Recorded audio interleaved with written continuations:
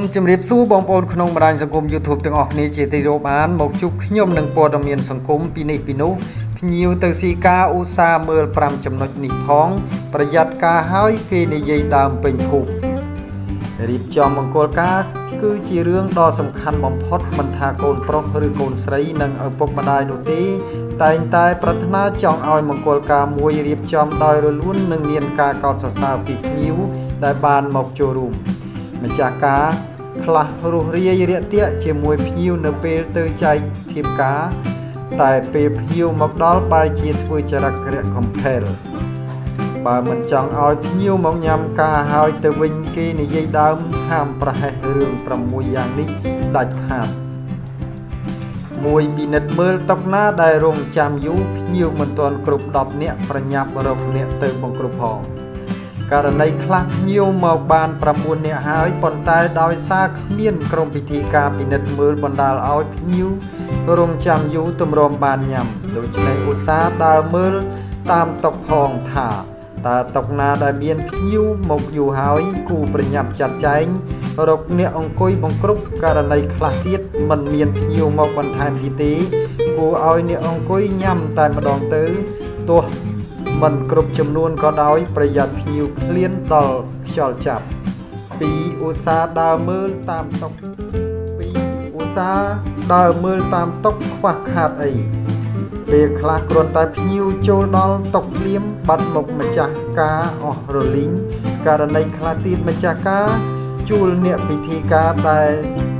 តែអ្នកទាំងនោះមិនសូវយកចិត្តទុកដាក់ប៉ុន្មានទេ ដូច្នេះហើយគូពិនិត្យឲ្យមកចត់កុំឲ្យភ្ញៀវស្រេក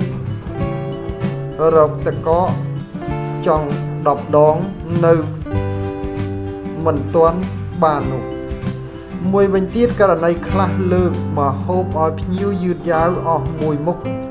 នៅចាំមួយមុខទៀតឡើងស្ងួតមាត់ទម្រាំមកដល់3មហូបការ កុំធ្វើយកចំណេញពេកម្ចាស់ការពេលខ្លះហេតុតែខ្លាចខាតសុខចិត្តធ្វើមហូបខ្វះមុខខ្វះក្រោយសាច់ក៏ស្ទើរបនឡែក៏ស្ទើររីឯមុខមហូបឆាស្ងោរដូចមហូបញ៉ាំជុំគ្រួសារបើហ៊ានធ្វើដូច្នេះមកតែគេនិយាយពេញភូមិហើយមិនមែនឲ្យធ្វើលោកហួសហេតុទេតែត្រូវលៃមួយសំរុំ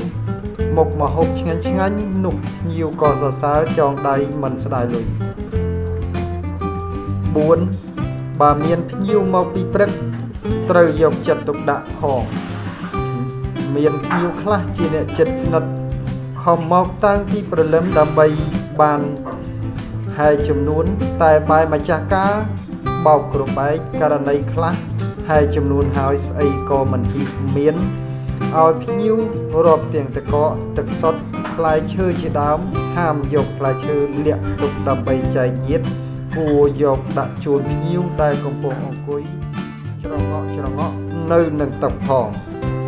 5កុំដាក់ស្រាបៀរមួយសេរីតាមភ្ញៀវសំពីរៀបចំមង្គលការហើយមានគេឈ្មោះល្អគេសរសើរមិនមែនស្ថិតត្រង់ថាដាក់ស្រាឲ្យភ្ញៀវផឹកស្រវឹងជោគជុំនោះទេ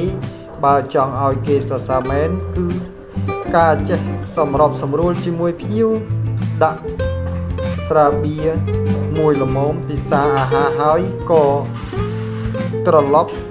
ទៅវិញដោយសវត្ថភាពមិនមែនដាក់ថែមរហូតភ្ញៀវស្រវឹងដល់ថ្នាក់ឆ្លោះទោះតែងគ្នាក្នុងរោងហើយត្រឡប់ទៅវិញជិះបុកទ្រូងផ្លូវឬធ្លាក់ប្រឡាយឡើយ ឡូរីយ៉ាចេញមកបកស្រាយរឿងមិនយកប្តីក្រោយនោះថាប្រិយមិត្តប្រកាសជាបានស្គាល់តារា Facebook ឡូរីយ៉ាដែលកំពុងមានការចាប់អារម្មណ៍លើជីវិតគ្រួសាររបស់នាងក្រោយជួបជុះភ្លៀងបញ្ហាសង្គ្រាមទោះឡើងមានការលែងលះគ្នាខណៈពេលនាងរៀបការទៅតែបានមួយឆ្នាំប៉ុណ្ណោះយ៉ាងណាមិញ បើទោះបីជាបច្ចុប្បន្ននាងនិងស្វាមីបានលែងលះគ្នា រួចហើយក៏ដោយក៏នាងនៅតែបំពេញការងារយ៉ាងមមាញឹកជាមួយការលក់អនឡាញដោយថ្មីថ្មីនេះយើងឃើញថាក្រោយមានរឿងអាស្រូវលែងលះជាមួយនឹងស្វាមីតារា Facebook ល្បីរូបនេះក៏បានលេចមុខជាបន្តបន្ទាប់នៅមានហាងឆេងមិនធម្មតា បានទៅថតសម្អាងការក៏ដូចជាទទួល ការងារជាច្រើន ស្របពេលដែលរឿងគ្រួសារនៅតែមិនដាច់ស្រឡះនៅមានអ្នកតាមដាននៅឡើយនោះទេ ជាស្ដែងកាលពីពេលថ្មីថ្មីនេះនាងឡើងកម្មវិធីពេញចិត្តឬអត់តារា Facebook សាច់សោកជ័យរូបនេះបាននិយាយពីជីវិតរឿងស្នេហា ហើយនាងក៏បាននិយាយបន្ថែមថាបើ ខ្ញុំយកប្តីក្រោយ គឺខ្ញុំមិនយកប្តីក្មេងដូចមុនឡើយព្រោះមានអារម្មណ៍ថាគាត់មិនស្រឡាញ់យើងស្មោះហើយពេលនេះនាងក៏ខ្លាចនឹងការទទួលយកអ្នកថ្មីខណៈពុំមានបទពិសោធន៍ផ្អែមល្ហែមតែក្នុងឡាយតែបែកនៅក្រៅផ្សេងហើយប្រសិនបើយកអ្នកថ្មីមិនចង់ឲ្យម្នាក់នោះ ប្រកាន់ពីអតីតកាលម្យ៉ាងទៀតខ្ញុំក៏មិនគិតថាម្នាក់នោះមានឬក្រនោះទេឲ្យតែស្រឡាញ់ស្មោះដោយខ្ញុំមិនកំណត់ថាពេលណានឹងទទួលយកអ្នកថ្មីគ្រាន់តែយូរហើយនឹងឆាប់សូមអរគុណបងប្អូនទាំងអស់គ្នា